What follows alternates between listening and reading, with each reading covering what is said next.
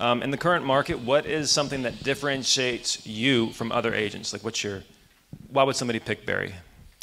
You know, um, one of the other questions coming, I think, is uh, an idea of percentages. About 80% of my clients are investors. So the reason my clients pick me is usually has something to do with investments. And I would say what makes me stand out is the ability to see the future for them. And so I can show them what it's going to look like down the road. And that sense of foreknowledge takes away a lot of the fear of moving forward.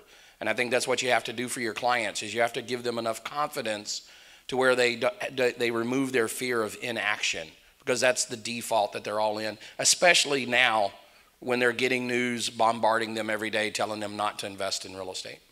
Yeah, I can say that. You, I bought a lot of stuff because Barry's convinced me to buy stuff. So he is a good salesperson.